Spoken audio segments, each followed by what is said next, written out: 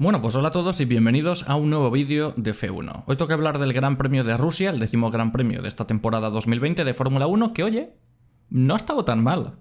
No ha estado tan mal. A mí la verdad es que no me, no me desagradó. Yo pensé, esto es el Gran Premio de Rusia en ese autódromo de Sochi, que probablemente es uno de los peores circuitos que jamás han pertenecido a la Fórmula 1, que han formado parte de uno de sus calendarios pues me lo esperaba mucho peor, porque las carreras que hemos visto en Sochi desde 2014, a excepción de 2015 a lo mejor, que yo recuerde, el resto ha sido un poco morralla, un poco morralla. Pero la verdad es que este gran premio, al menos le he visto bastantes puntos interesantes. Al fin y al cabo, ayer me salió el resumen más, uno de los más largos de, de la temporada. Entonces, me parece destacable. Me lo esperaba mucho peor, incluso la clasificación en la lucha por la zona media estuvo bastante entretenida y la carrera no ha estado mal, al menos desde mi punto de vista. De este Gran Premio yo creo que hay muchos puntos a destacar, muchos puntos interesantes de esta carrera, y entonces creo que me puede quedar un blog incluso bastante largo hablando de todo esto, que aún así me saldría largo en carreras aburridas, porque es lo que suelo hacer, vídeos de media hora y cuando digo que una carrera es aburrida me sale de 50 minutos, pero eh, la primera sorpresa ya nos la llevamos con el ganador con Valtteri Bottas. Eh, segunda victoria para él en esta temporada 2020. Cualquiera hubiese dicho, después de ver la clasificación del sábado, que iba a ser Valtteri Bottas el que se subiese al primer peldaño del, del podio. Después de ver esa clasificación con Verstappen, Verstappen segundo. Que esto ya me pareció brutal. Verstappen segundo, por delante de Valtteri Bottas, con uno, con uno no, con el Mercedes más dominante de esta era híbrida, porque es así, han estado ganando desde 2014, pero no han llegado a tener tanta distancia con respecto al segundo equipo del campeonato de constructores en tantos años. Con la Mercedes más dominante de la era híbrida, tenías a Verstappen, que había estado además totalmente desaparecido durante todo el fin de semana y que en entrenamientos libres no hacía mucha cosa, tal, y al final en clasificación pues eh, tuvo el día, tuvo la vuelta ideal, pues se clavó por delante de los dos Mercedes y se puso segundo. Y lo dicho, a medio segundo de Verstappen, a seis décimas y media de Valtteri Bottas, cualquiera hubiese dicho que Hamilton iba a ser una victoria fácil para él. Dentro de lo que cabe tenía cierta razón en algo, y es que la salida del Gran Premio de Rusia es siempre muy complicada. En el sentido de que, bueno, estábamos ya... Yo estaba viendo ya mucha gente que se estaba quejando de las declaraciones de Hamilton porque suele ser lo habitual de ganar una carrera por 30 segundos de diferencia y decir, bueno, ha estado complicado, ¿eh? Está complicado, he estado sudando, tal, no sé qué, y que tiende un poco a exagerar las cosas, al igual que hace, pero lo hace Valtteri Bottas y lo hace Toto Wolf y lo hace todo el equipo Mercedes. De ganar una carrera por todo lo alto con doblete y decir, bueno, hemos sudado, eh, cuidado porque esto no ha sido tan, tan fácil para vender que no son tan superiores, aunque lo son. Y entonces, pues, Lewis Hamilton el sábado dijo que, bueno, que tiene la pole pero que al fin y al cabo Bottas va a tener el rebufo para el día siguiente y tiene la misma velocidad punta que yo, pero además con el extra del rebufo hay, una larga recta y al fin y al cabo la salida va a ser complicada. Y vi a mucha gente que ya reaccionaba mal porque, pues eso es la tradición de Mercedes de venderlo todo complicado, pero en esta ocasión tenía razón. Tenía razón porque en este caso concreto del autódromo de Sochi, pues las salidas son muy complicadas. Recordemos que veníamos ya del año pasado de la polémica de que Leclerc tenía que darle rebufo a Vettel para que se pusiese primero y al menos ponerse los Ferrari primero y segundo por delante de los Mercedes, que es lo que pasó, y después ya hecatombe final en ese gran premio y terminó ganando Hamilton. Pues ya veníamos de ese debate y ya vimos que el rebufo en esa recta les iba a dar la vida. Y en este caso, si Bottas salía bien y adelantaba a Verstappen y se aprovechaba del rebufo de Hamilton, podía luchar contra Hamilton. Y es lo que pasó. Es lo que pasó porque Bottas adelantó a Verstappen, enseguida se puso a rebufo y en el vértice de la curva llegó incluso a tener el alerón delantero por delante de Hamilton. O sea, Hamilton podría haber perdido la posición ahí. Lástima que a la hora de, trazar esa curva, pues al final se fue un poco por la salchicha y perdió un poco el control y Hamilton ya recuperó el liderato. Y entonces, pues a partir de ese punto ya todo el mundo decía, bueno, pues ya está. Victoria para Hamilton, aquí Bottas lo ha intentado, a lo mejor puede estar más cerca porque Bottas pues se conoce que Sochi es un circuito que le gusta, pero ya está, chimpum tracatra, se acabó la carrera. Pero no, no fue una carrera nada fácil para Lewis Hamilton y no fue quien se llevó la victoria, no por nada que pasase en la pista, bueno, técnicamente sí, pero no durante la carrera. Mm, Lewis Hamilton recibió en total 10 segundos de sanción por algo que pasó 40 minutos antes de la carrera. Que esto, por si no visteis la previa o lo que sea, porque yo imagino, había mucha gente que cuando lo estaba, estaba comentando la carrera en Twitch, que lo he hecho por primera vez, y veía el chat en directo y decían, pero ¿por qué le sancionan? ¿Qué es esto? ¿Por qué nos meten una repetición de antes de la carrera? Pues bueno, aquí más o menos yo creo que todo el mundo sabe, porque siempre somos unos frikis y nos tragamos las previas y absolutamente todo la Fórmula 1, que 40 minutos antes de la carrera, en este caso a las 12 y media, porque la carrera arrancaba a la 1 y 10, que también vi muchos tweets de gente que se olvidó de ver la carrera porque pensaba que era a las 3, eh, mis condolencias por ello. Pues lo dicho, cuando se abre el pit lane, lo que suele hacer la gente es tirarse a la derecha la salida del pit lane y ensayar la salida, porque es una de las pocas oportunidades que van a tener junto, digamos, al arranque de la vuelta de formación a poder ensayar la salida. Entonces se paran, se tiran a un lado, engranan el punto neutro, ya suben a primera, arrancan y todo perfectamente, y van ensayando esas salidas. Pues bueno, hay una zona establecida para hacer ese tipo de cosas. Mm, y Lewis Hamilton lo que hizo fue, no sé si porque había mucha gente, había mucho coche, había mucha goma y querían ensayar con menos goma porque el circuito de Sochi pues, no tiene mucho grip precisamente y además es un circuito que prácticamente solamente lo utiliza la Fórmula 1 para hacer alguno junto a este yo creo que hay tres o cuatro eventos y poco más. Y el tema es que Lewis Hamilton vio todo ese panorama y dijo, pues me voy más para adelante. Y lo preguntó por la radio diciendo, ¿hay algún problema si me voy más para adelante para hacer esto? Y desde el equipo le dijeron, sí, sí, ningún problema. Y entonces se metió en el carril rápido ya, donde la gente ya va rápido para, para incorporarse a pista, ya es el momento donde han pasado por el semáforo del pit lane y ya van a tope, y se puso ahí, se frenó y practicó las salidas allí. No solo una vez, sino que lo hizo dos veces. Y entonces, por cada una de esas infracciones, 5 segundos de sanción, en total 10. ¿Sanción justa? Pues sí, totalmente. Totalmente, porque por mucho que vaya Hamilton diciendo, no, es que lo pregunté por la radio y me han dicho que sí, no sé qué, no sé cuántos, y que es más culpa del equipo que del piloto, da lo mismo. Da lo mismo porque yo es la primera vez que he visto que alguien practique salidas ya entrando a la recta principal. Yo esto no lo he visto nunca y además esto yo no me lo espero de Mercedes, de un equipo como Mercedes que lleva desde 2014 arrasando con todo y que se debe saber el reglamento de Piapa, y de un piloto como Hamilton que también se debe saber el reglamento de Piapa. Y lo peor de todo fueron después las radios de Hamilton diciendo, ¿dónde está esto en el reglamento? Esto es una broma, van contra mí. Dijo, la FIA es que se nota que va contra mí y estaba hablando con la prensa y le dicen, ¿en serio? Y dice, sí, sí, sí, ¿no ves lo que está pasando? ¿Que van contra mí? Después le preguntan a Toto Wolf y dice, no, el reglamento no marca en ningún momento qué zona tienen que los pilotos practicar la salida. Y esto es una mentira como una catedral de grande, como la catedral de Burgos. Porque ahora mismo tú entras a la web de la FIA, que lo tengo aquí abierto porque sabía que terminaría hablando de esto, y esto es público. O sea, tú entras FIA.com y siempre publican todos los documentos que los comisarios publican, incluso los documentos que le mandan a los equipos. Y entonces entras y hay un documento que se llama las notas del director de carrera.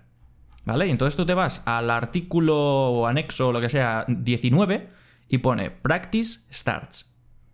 Prácticas de la salida. Y entonces establece, las prácticas de salida solo se deben llevar a cabo en el, en el lado derecho, digamos, después del, de pasar el semáforo del pit lane. Los pilotos deben dejar suficiente espacio en la izquierda para que el resto de pilotos pueda pasar, para que los que quieran incorporarse a pista pues no se vean atascados por los que están allí parados. Y añade que por razones de seguridad y de equidad, de igualdad deportiva, los coches no se deben parar en el fast lane, en el carril rápido, donde ya todo el mundo, como he dicho antes, ya se va incorporando a la recta principal, en ningún momento sin un motivo justificable y añade, entre paréntesis, un ensayo de, salida no es considerado un motivo justificable. O sea, lo establece perfectamente. Y lo podéis ver FIA.com, los documentos firmados oficiales por Michael Masi, director de carrera de la Fórmula 1. Además, esta es la entrega, son las notas del Gran Premio de Rusia del 24 al 27 de septiembre de 2020. Entonces pueden inventarse el caso de que lo vieron como algo necesario porque había mucha gente, entonces si te parabas después sobrecalentabas el motor o lo que sea, pueden inventarse todo lo que quieran. Pueden tener todo tipo de excusas, pero que digan que esto no está en el reglamento y que van a por mí, lo siento, pero esto es ridículo. Esto es ridículo y entonces las sanciones son más que merecidas. Y después hubo otro eh, otra controversia, digamos, y ahora me pongo a hablar ya del todo de la carrera, pero como es uno de los temas candentes, pues he de repasarlos. Hay un tema bastante polémico, porque a Hamilton, junto con los 5 segundos de sanción, que le pusieron dos veces, 10 segundos en total, le iban a poner un segundo, hay un segundo, un punto, le van a quitar un punto de la superlicencia. Por cada infracción, dos en total. 10 segundos de sanción y dos puntos de la superlicencia. ¿Qué problema hay? Pues que a los 12 puntos de infracción, estás una carrera entera sin correr. Esa es la sanción si te quitan todos los puntos de la superlicencia. Estás ahora mismo, si le hubiesen. Si hubiese llegado a los 12 puntos Lewis Hamilton en esta carrera, pues en el Gran Premio de Eiffel de Nürburgring, dentro de dos semanas, de la semana que viene, que ya estamos a lunes, no podría haber corrido. Y eso, pese a la distancia que tiene, con, eh, con Valtteri Bottas sería un golpetazo al mundial bastante grande. Y bueno, la FIA lo hizo, anunció la sanción, 10 segundos en total, 2 puntos retirados y se quedó Hamilton con 10. A la más mínima infracción de que le pusiesen dos puntos más, le, quitasen dos puntos más de superlicencia y estuviese en Nürburgring sin correr. ¿Qué pasó a final de carrera? Pues que dijeron, bueno, quitamos lo de los puntos mejor y ponemos una multa. ¿Perdón? ¿Por qué? ¿Por qué? ¿Por las quejas de Hamilton? ¿Por la presión del equipo? ¿Por qué?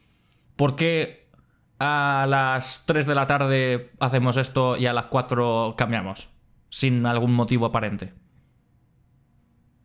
Pues no sé, es raro. Es raro y más teniendo en cuenta además que inicialmente la FIA, o al menos según se ha hecho saber, esto ya no puedo llegar a confirmarlo, pero según se ha hecho saber, inicialmente la FIA no le iba a meter dos puntos, le iba a meter cuatro. Y con esos cuatro ya directamente automáticamente no iba a competir en el Gran Premio siguiente. Hamilton no habría estado en Nürburgring, a lo mejor en la, en la grada, o en la tribuna, en el boxes, donde sea, viéndolo en casa, pero no habría estado compitiendo. Porque esto se ha hecho saber porque, bueno, este es otro caos del Gran Premio de Rusia. Mika Salo, que, era, que fue piloto de Fórmula 1 y de muchas otras categorías, que habitualmente está en el, en el comité de, comisarios de la FIA, ayudando a dirección de carrera con las decisiones, eh, las sanciones a los pilotos. Pues bueno, Mika Salo es un habitual y según ha salido ayer, eh, están diciendo que Mika Salo filtra las decisiones de dirección de carrera incluso 10 minutos antes de que se publiquen a la televisión finlandesa. Porque de vez en cuando Mika Salo era, o al menos no sé si sigue siendo, de vez en cuando, comentarista de la televisión finlandesa. Y entonces, ayer dijeron que la sanción que le iban a meter a Hamilton lo dijeron los de la tele finlandesa 10 minutos antes de que se anunciase. De que saliese en, eh, eh, que lo anunciase dirección de carrera y que se mostrase en la retransmisión. Y lo que dijeron inicialmente es que le iban a meter esos cuatro puntos. Se sabe por eso. Y entonces estamos hablando de que la FIA le iba a meter esos cuatro puntos. Dijeron, ostras, es que si, eh, bueno, si llegan a estos 12 puntos, no correrá la carrera siguiente y se nos echarán encima. Bueno, lo dejamos en dos. Y aún así le dan otra vuelta de tuerca y dicen, bueno, mejor una multa, una multa. Entonces, ¿para qué han hecho lo del sistema de puntos? ¿Para qué está esto del sistema de puntos de superlicencia? Porque si va a llegar algún piloto en algún momento que te vas a chantar y decir, no, es que pobrecito que estará una carrera entera sin correr, igual esto no es para sancionar. Entonces, ¿para qué está?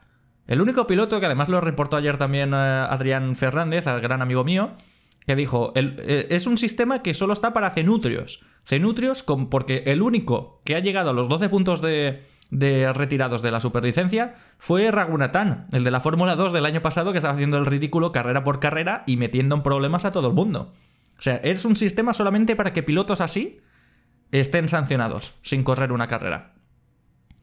Y entonces no sé, no sé, es raro porque que la FIA primero vaya a poner 4, luego ponga 2 y que aun poniéndolos y ya publicando esa sanción, después achante y diga, no, mejor una multa, ¿cómo que una multa? Entonces, ¿para qué está esto? Pero bueno, esto ya está, digamos, a la interpretación de todo el mundo, de si oh, la influencia de Hamilton o si la influencia del equipo o amenazas de Mercedes a la FIA, no tengo ni idea.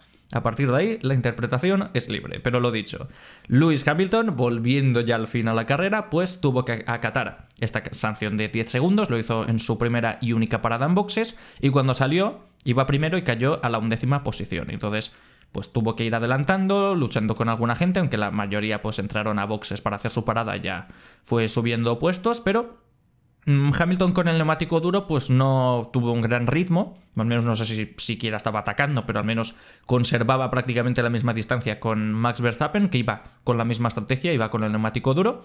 Y a partir de ahí ahí se quedó. Logró subir hasta el top 3, porque es lo normal, siendo Hamilton quien es y siendo el Mercedes el coche que es. Y ahí se quedó. Ganó Valtteri Bottas la carrera con Verstappen segundo y Lewis Hamilton tercero. Después de la carrera, una vez ya terminada, pues Valtteri Bottas pues soltó una perla por la radio. Imagino que al, al fin y al cabo pues es un piloto que habrá liberado mucha tensión en la carrera de ayer, que al fin y al cabo no estaba rindiendo como él mismo esperaba, que o al menos que se estaba topando con un Hamilton absolutamente colosal al que estamos habituados a ver.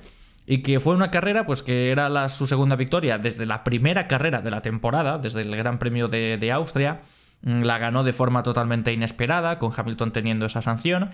Y al fin y al cabo, pues uno pues tiene, que celebrar. Que al fin y al cabo, al fin ha vuelto y que al fin ha vuelto a ganar un gran premio. Entonces todo eso, pues bueno, lo entiendo un poco, pero dejó un mensaje que me dejó un poco a cuadros. No por el mensaje como tal, sino por el momento, quizá, o por, o por ser quien es. Porque bueno, repitió esa mítica radio que ya dijo en Australia 2019, de, mandando a la gente pues a freír un poco espárragos, que están muy buenos y que son muy buenos para la salud, y lo repitió otra vez diciendo, ah, para los que me critican o que sé, no sé cuánto, que se vaya a coger amapolas, como dijo Guti una vez. Eh, y te quedas mirando la clasificación de pilotos, que la tengo aquí a mano, y dices, Hamilton 205 puntos, Valtteri Bottas 161, oye, pues enhorabuena por la victoria, pero yo no creo que estés mucho para celebrar en esta temporada.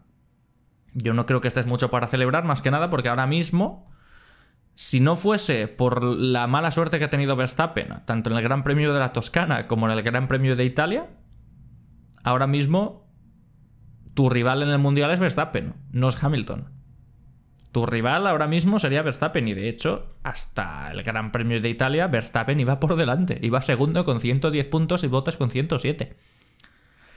Entonces dices, vale, celebra, liberas la tensión porque tienes que estar, porque también la figura de Valtteri Bottas pues tiene que ser muy complicada, viendo todo el rato como los fans te dicen que no va suficientemente rápido, que eres un barriquelo 2.0, que el Bottas 2.0 y Bottas 3.0 no es nada, que Hamilton te va a arrasar que tiene como compañero de equipo al uno de los mejores pilotos de la historia. Al fin y al cabo, al fin y al cabo yo entiendo que ser Valtteri Bottas es muy complicado a día de hoy. Y estar en Mercedes y no rendir al mismo a lo mismo que tu compañero de equipo, pues tiene que ser muy complicado. Pero igual esas radios, pues aquí como consejo de señor sentado en su silla de escritorio sin haberse subido nunca en Fórmula 1 y sin saber lo que es ser piloto de Fórmula 1, como consejo de un señor que no, le, no tiene ni idea, yo igual esos mensajes de radio pues los limitaba un poco porque no por meterse con, problemas o lo que sea, porque eso da lo mismo, pero igual a final de temporada te sacan esa misma radio cuando ya ha terminado el Gran Premio de Abu Dhabi y ya se ha visto que Luis Hamilton ha igualado a Michael Schumacher en títulos, porque la verdad es que me sorprendería mucho ahora de repente un crecimiento brutal de Valtteri Bottas, que a lo mejor puede ser, ¿eh? A lo mejor esta carrera simplemente es un soplo de aire fresco para Valtteri Bottas, su primera victoria después desde, el Gran Premio de Austria y decir, ostras, vuelvo a creer en esto. Never give up o lo que sea, frases de John Cena de, marketing barato Mr. Wonderful, lo que sea, pero si le motiva. Y ahora vemos al verdadero Bottas 3.0 o versión 3.15 mm, beta alfa, no sé. Pues igual ahora mismo es un despertar de Valtteri Bottas. Y quién sabe, mira, por mí ojalá, ojalá tengamos batalla de aquí a Abu Dhabi. Además con los circuitos que nos vienen ahora porque tenemos la parte buena del calendario. Ahora llega Nürburgring, después de Nürburgring llega Portugal, después de Portugal llega Imola, después de Imola llega Turquía y a partir de ahí Bahrein, que está bien, el circuito externo de Bahrein, que es lo que más me interesa, y Abu Dhabi. Entonces ahora mismo queda un calendario absolutamente fetén en todos los aspectos. Entonces, a lo mejor aquí, en este factor sorpresa, pues Bottas le puede cazar un poco a Hamilton. ¿Quién sabe? Ojalá. Ojalá. Y ojalá esta victoria pues le haya servido a Botas para despertar un poco. Pero lo dicho, esos mensajes de radio, pues bueno, yo igual diría otras cosas. Y en cuarta posición, y ahora saliendo de posiciones de podio, yendo a la zona media que ha estado también bastante agitada en este Gran Premio, cuarto tenemos a Sergio Pérez, que em, me levantaría, pero no lo hago porque saldría fuera de plano, pero hago así. Chapó y aplauso para Sergio Pérez, más que nada porque ha sido el mejor del resto en una carrera donde lo ha tenido un poco todo en contra. Salía cuarto, había hecho buena clasificación y demás. Le adelantaron los dos Renault en la salida, ha tenido que adelantarles. Eh, lo aprovechó para hacer en la parada, pero cuando no tuvo a nadie delante, tuvo un ritmo bestial, le fue sacando muchas eh, décimas de, segundo a sus rivales. Y aprovechando que los Renault estaban viendo atascados por Sebastian Vettel, apretó en ese momento, paró un box y salió por delante, pero después dices, bueno, vale, a lo mejor ha sido por la estrategia, pero una vez estos pilotos ya superen a Sebastián Vettel, ya no tienen a nadie delante. Ya si tienen más ritmo que, que Sergio Pérez, al igual que mostraban en las primeras vueltas, pues ahora le atraparán. Pero no, Sergio Pérez terminó a 30 segundos, tengo yo por aquí, de Lewis Hamilton, y Ricardo a 52. 22 segundos de diferencia con Sergio Pérez. 17 técnicamente, porque Daniel Ricardo tuvo esa sanción de 5 segundos, pero bueno, 17 segundos de diferencia, desde la parada hasta la última vuelta. Hizo una gran carrera. ¿Y por qué el aplauso también? Porque bueno, Checo Pérez pues ha quedado como mejor del resto en más ocasiones. Pues porque lo hizo con todo en contra, porque por segundo fin de semana consecutivo lo ha hecho sin mejoras. Sin mejoras. En Mugello ya estábamos diciendo que Stroll llevaba las mejoras del equipo porque ahora mismo era la prioridad era mm, el piloto que estaba por delante en el campeonato de pilotos, es el hijo del jefe, por tanto, pues la prioridad ahora mismo es Lance Stroll. Que esto ya dije en su momento.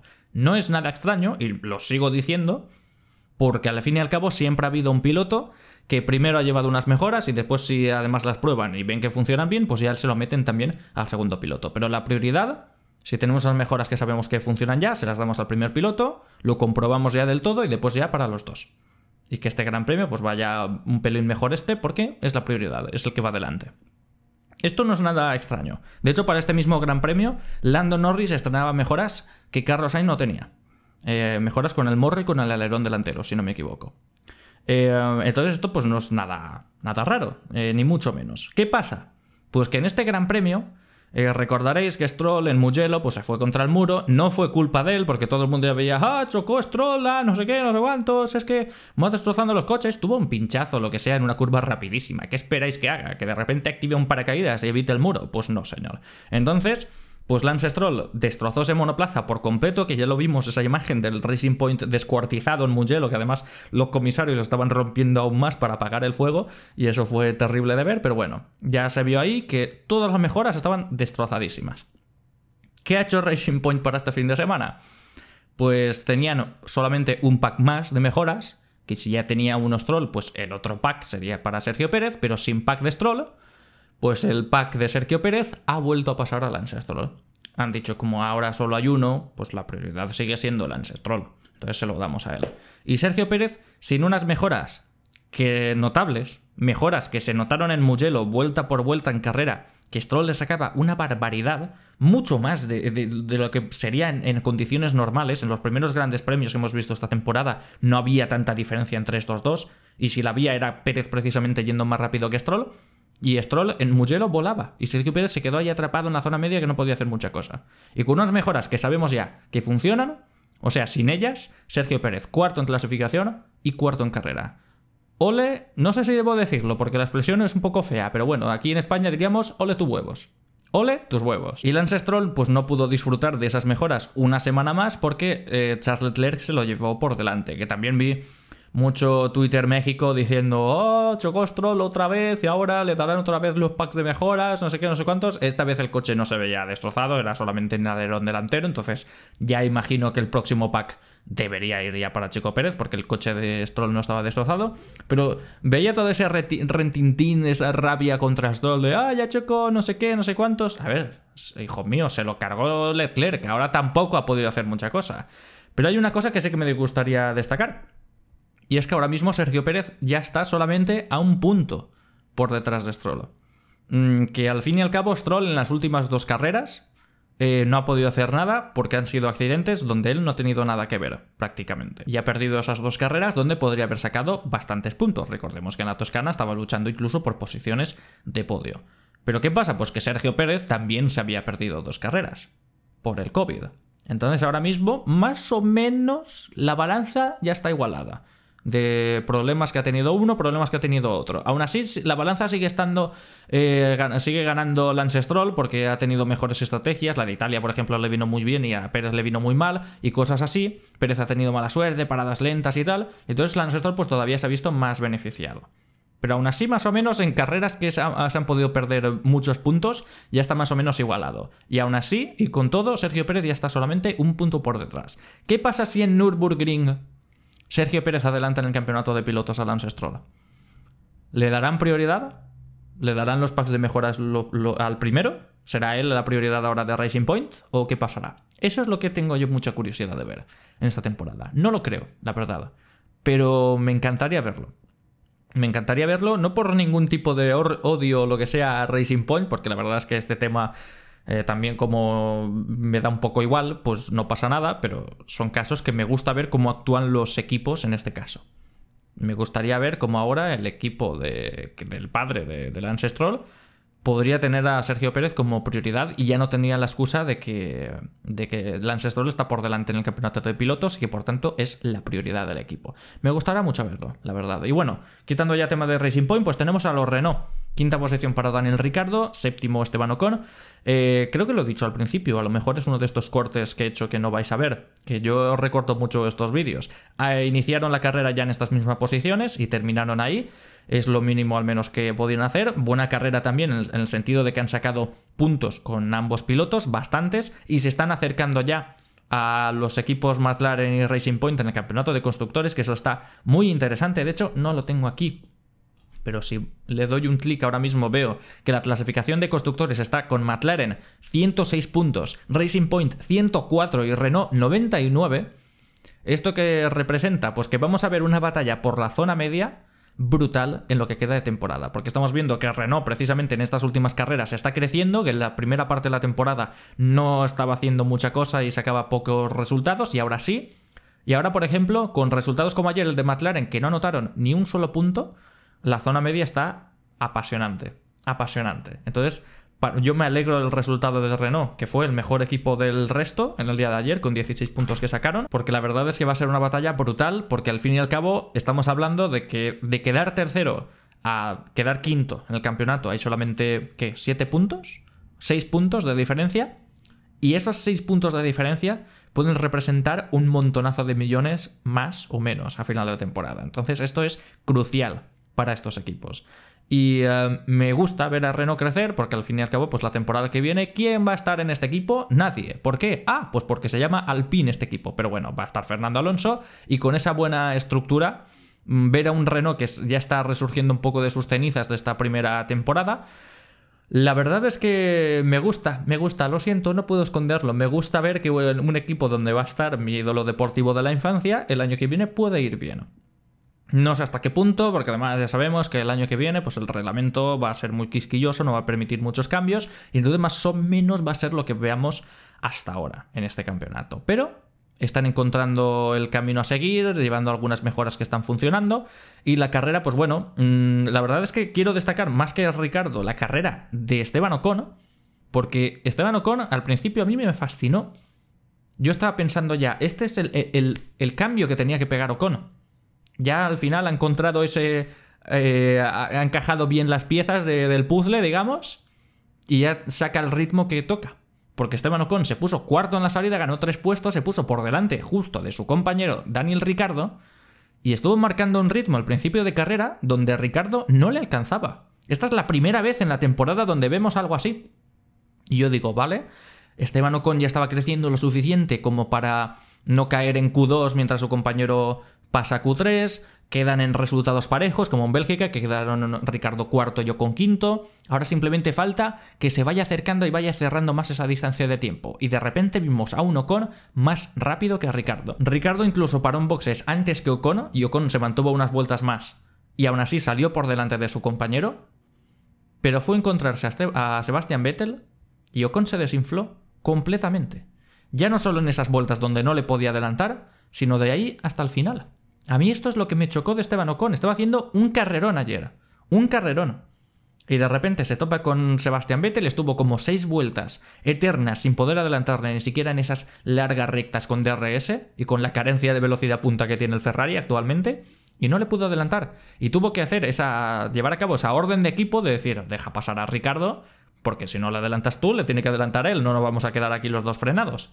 Y entonces lo hizo y además fue en esa acción tan extraña donde se apartó casi en el vértice de la curva, Ricardo se pasó de frenada por evitar chocar a la hora de girar y tomar la curva 2, y se saltó la curva y lo hizo mal Ricardo y le sancionaron por ello, 5 segundos. Que al fin y al cabo no afectó mucho al resultado de Ricardo porque esos 5 segundos no alteraron la clasificación, pero mm, es destacable. Y lo dicho, a partir de ahí Esteban Ocon simplemente se atascó, Adelantó a Sebastián Vettel ya pocas vueltas después, pero quedó como a 16 segundos de distancia de Daniel Ricardo. La verdad pensaba que iba a ser el cambio de, Esteban Ocon, la carrera clave de esta temporada del piloto francés, pero hemos visto a un Ocon bastante discreto, bastante discreto y además con una carrera que prometía una maravilla y ha sido pues una frustración, una séptima posición que oye, pues no está mal teniendo en cuenta que su compañero quedó quinto y que son sus mismas posiciones de salida, pero viendo lo que podría haber sido, pues es un poco triste. Y tenemos, gracias a ese tapón precisamente de Sebastián Vettel, la sexta posición de Charles Leclerc, que aprovechando esa estrategia de, Ferrari, ese tapón de, de, Sebastián Vettel, pues pudo parar mucho más tarde, salió por delante de Ocon, estuvo octavo, si no me equivoco, salía décimo y estuvo octavo durante toda la carrera,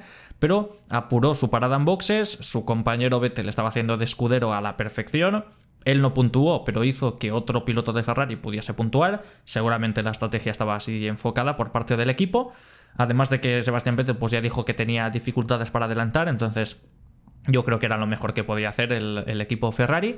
Y con esa estrategia y Leclerc intentando yendo al máximo con ese monoplaza bastante tractor, pues consiguió salir por delante de Esteban Ocon, no por delante de Daniel Ricardo, pero mm, sorprendió porque se quedó solamente a 10 segundos de él.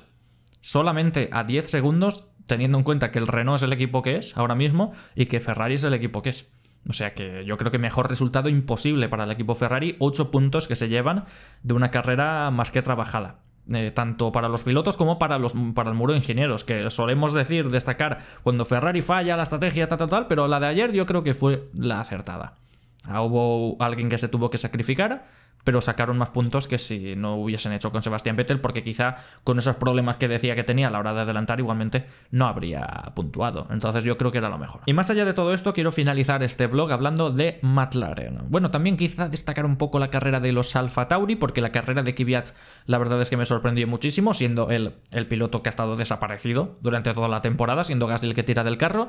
Y ayer sí que es cierto que tuvo una estrategia distinta, que a lo mejor fue la mejor opción, que solamente la hicieron tanto Raikkonen como él, que era montar primero el duro y después ya en su parada, en su única parada, poner el neumático medio. Y tuvo un ritmo, la verdad, espectacular. Mm, estando, saliendo desde fuera de la zona de puntos a terminar octavo, pues oye, no sé si será por el apoyo de su público, porque tenían como 30.000 espectadores en el Gran Premio de Rusia, que yo vi las imágenes de la tribuna y dije, este país es que están locos, que está más controlada quizá la pandemia y todo lo que tú quieras, pero Mm, sin mascarillas, en absolutamente nada. Mm, no sé. Al, menos a mí desde aquí, pues me choca ver esas imágenes, viendo todo lo que estamos pasando, de repente ver las tribunas llenas, además siendo el Gran Premio de Rusia, que dices tú, no hay mucha gente que quiera atreverse a ver tal espectáculo, además en persona. Esto sea como un poco abuso humano, pero lo dicho, que me voy por las ramas, que Kvyat tuvo ese, ese apoyo del público que no han tenido otros pilotos en los grandes premios previos. Y quizá pues ha sido por esto o porque Sochi se lo conoce como la palma de su mano, no tengo ni idea, pero esa octava posición pues es más que merecida para, para él. Y otros puntos más, que mira, ahora Ferrari les ha sacado dos puntos en esta, en esta carrera con la sexta posición de Charles Leclerc, pero ojito, porque quizá tenemos batalla Ferrari-Alfa Tauri en el Mundial de Constructores, por la sexta posición que a día de hoy ya no me sorprende nada sobre Ferrari, pero bueno. Y hablamos de McLaren ahora. Yo creo que tengo que empezar hablando de Carlos Sainz, porque como diríamos aquí, cuando vi esas imágenes, yo ayer me quedé flipando. Eh, yo pensaba, la verdad es que yo estaba narrando la carrera en Twitch, que no sé si lo visteis, pero, pero bueno, está resubido, solamente el audio. Em, y bueno, me quedé narrando esto y como en las salidas yo me pongo nervioso y tal, y era mi primera vez y no sabía, pasaban muchas cosas y no sabía narrarlo todo, vi las imágenes de Carlos Sainz trompeando por detrás y dije, se ha tenido que tocar con alguien o alguien se lo ha llevado por delante porque ese choque en ese punto de ahí algo ha tenido que, pasar. Y luego me ponen las imágenes on board y veo que se ha chocado él solo. Y yo me quedé flipando. O sea, yo no creo que sea para montarle aquí la mundial a Carlos Sainz, porque hay mucha gente que ayer se vio en redes sociales que está a degüello con él que aprovecha el más mínimo error para tirarse encima y tener novato que, oh, cómo ficha este a Ferrari, no sé qué, no sé cuántos. ¿Veis cómo este es un malo que lo llevo diciendo desde el año 2000, que no sabía ni que este señor existía, pero ya lo estaba diciendo porque yo tengo la razón y me pongo 50 medallas? Hay mucha gente que aprovecha el más mínimo error, que vale que el de ayer fue gordo, pero aprovecha enseguida para decir, ala, ayer, eh, el año pasado fue el mejor del resto, dices, en el Mundial de Pilotos. Nah, este es un fraude. Este es un fraude porque eh, Maribel, que te lo estoy diciendo yo, que este es un fraude. Me voy al bar a tomarme una cerveza. Hombre, por favor. Entonces lo dicho, no creo que sea para ponerse así precisamente. Pero el error fue de novato. El error fue de novato y yo creo que escenifica no solo Carlos Sainz, sino la mentalidad de todos los pilotos. Porque esto, incidentes en esa zona, en esa zona exacta, en ese punto donde la FIA marca con flechas y con lo que sea para reincorporarse a pista, en ese punto ya ha habido incidentes. Yo recuerdo ahora mismo uno de Mazepin, si no me equivoco, en la Fórmula 2, donde chocó con alguien al reincorporarse. Porque por eso mismo la FIA pone esas flechas y pone esas líneas ahí. Porque lo ponen porque los pilotos dicen, bueno, me salto la curva, pues bueno, voy a fondo, ya está. Y no puede ser así. Tienes que frenar. Tienes que frenar y si la curva está muy cerrada y las líneas son muy cerradas por parte de la FIA, pues lo siento amigo mío, tienes que frenar. No puedes pasar a tope como, como si no hubiese nada. Y entonces ya hubo un incidente allí de la Fórmula 2 por gente que quería reincorporarse a pista sin perder una posición y se chocaron. Y ahora mismo lo que sí que ha sido raro de Carlos Sainz es que lo ha, sido, lo ha hecho él solo, que en el momento en el que se saltó la curva yo no sé si se dio cuenta muy tarde de que tenía que ir por allí, por donde lo marcaba la FIA y reaccionó tarde, pero fue a una alta velocidad, sin ángulo prácticamente para girar, porque iba casi recto hacia un corcho que enseguida giraba hacia la derecha bruscamente, y fue casi a tope. Y menos mal que al menos después lo reconoció el propio Carlos Sainz diciendo, fui demasiado rápido por ahí, lo siento, lo siento, lo siento, y pidió perdón a todo el equipo. Pero me sorprendió bastante de un piloto como Sainz, que lleva desde 2015 en la Fórmula 1, que estas escapatorias ya las han usado todos los pilotos en todas las sesiones de entrenamientos libres, de clasificación, ya no solo en Rusia, sino en Canadá, por ejemplo, en la última curva también hay una. Mm, no sé, la verdad, me sorprendió bastante de un piloto como él que cometa estos errores que para mí son de novato. Para mí el de, ayer fue un error de novato de Carlos Sainz. Entonces lo he dicho, no es para aquí ahora cortarnos el cuello, pero mm, yo creo que, se ha de destacar cuando uno falla y, cuando no. Entonces, si alabamos las carreras buenas de Carlos Sainz, ayer pues tenemos que decir que, que hizo un estropicio bastante grande. Y Lando Norris pues ya fue la guinda del pastel para el equipo eh, McLaren porque era su única alternativa. Tuvo problemas ya desde la salida porque precisamente se cruzó con Carlos Sainz cuando este se estaba chocando, entonces había solamente dos carriles, uno por la izquierda y otro por la derecha. Por la derecha estaba ocupada por toda la parrilla que estaba yendo a tope, ya trazando para la curva 4, si no me equivoco, y él iba por la izquierda y se topó con Carlos Sainz delante y tuvo que frenar para no chocarse con él. Y ya cuando Sainz abrió paso ya habían pasado todos y se quedó último ya en la primera vuelta. Entonces ya paró en boxes, intentó ir a una sola parada, ya parando desde esa primera vuelta con el safety car, poniendo los duros. Y lo intentó, no hizo como Alex Albon, que sí que tuvo que parar, o Russell, que destrozó sus neumáticos en la vuelta a lo mejor 14-15 de esos neumáticos. Él intentó ir hasta el final, Dentro de lo que cabe lo consiguió porque iba rodando dentro del top 10, novena posición, novena décima posición en las últimas vueltas, pero al final se pasó de frenada dos veces, destrozó sus neumáticos en dos curvas y ya tuvo que parar en boxes y consiguió una decimoquinta posición que si lo, dijo, lo dije ayer en el resumen, si no me he equivocado yo viendo estadísticas, quitando carreras de abandonos o lo que sea, carreras donde haya terminado él, es su peor resultado no solo en esta temporada, sino en Fórmula 1. Entonces es destacable porque no estamos habituados también a ver a Norris en estas posiciones. Entonces ayer fue ya el culmen de, la mala suerte, que al final esas gomas estaban destrozadas y que justo al principio perdió porque hizo una buena salida también, salía octavo si no me equivoco y llegó a ponerse como séptimo, pero tuvo que perderlo todo por, no chocarse con su compañero. Entonces ayer, hecatombe del, del, equipo McLaren, que lo dicho antes, va a afectar muchísimo al campeonato de constructores porque ahora mismo están todos en un puño. Y ya está, esto es todo lo que tenía que decir de este Gran Premio de Rusia con este nuevo micro, porque el otro se ha roto un poco la tuerca donde, donde lo enroscaba el soporte este para hacer los streamings en Twitch y tal, entonces pues he tenido que pillar otro, espero que se escuche perfectamente bien. Incluso estoy pensando de ponerme aquí placas de insonorización y cosas así para que no rebote el audio, para que se escuche más radiofónico. Y lo dicho, dejadme en la zona de comentarios qué ah, pensáis desde el Gran Premio de Rusia, que como lo visteis, si os lo habéis perdido por no haber puesto la alarma cuando toca, dos horas antes. Eh, y lo dicho, la próxima carrera será en Nürburgring y lo que queda de calendario por ahora es de lo mejorcito que vamos a ver en mucho tiempo. Así que vamos a disfrutar de lo que queda porque pese a que sean circuitos que a lo mejor en Imola, por ejemplo, no pasa mucha cosa, va a ser... Lo voy a disfrutar tanto que no os, no os hacéis una idea. No os hacéis una idea. Pero bueno, lo dicho. Ya haré de fanboy de Imola en otro momento porque este es el blog del Gran Premio de Rusia. Y lo dicho, que me sigáis todos en Twitch también, ¿eh? que está haciendo lo de la retransmisión este domingo, ha estado bastante bien, había como 330, 340 personas de media allí viendo eso, no sé por qué, porque era mi debut. Y de vez en cuando a lo mejor lo volvemos a hacer. No, no, creo, no creo que lo haga fijo todos los fines de semana, pero de vez en cuando lo haremos. Entonces, entre eso, directos charlando, directos jugando el F1 2005 y tal, estoy en Twitch a vuestra entera disposición. Así que seguidme, tendréis el link también en la descripción. Y después de, este, de esta autopromo De, bueno, también seguidme en Instagram, ya que estáis, pues vabadg es mi cuenta, en Twitter soy Víctor Abad 1 os pondré el grafismo ahora de sígueme y estas movidas, y ya está. es el final más descarado que he hecho de un blog de F1, pero bueno, si te gustó el vídeo, pon me gusta y deja un comentario. Un saludo.